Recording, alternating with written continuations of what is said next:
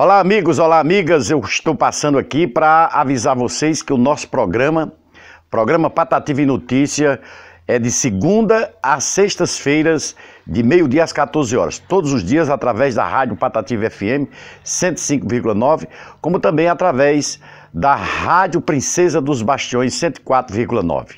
Josélio Leite.